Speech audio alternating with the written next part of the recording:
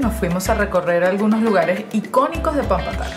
Nuestra primera parada fue en el fuerte de Santa Rosa y el castillo de San Carlos Borromeo. Sí, San Carlos de Borromeo. Ambas majestuosas infraestructuras que ustedes no se imaginan y bueno, nos remontan como a esas épocas coloniales, por decirlo así.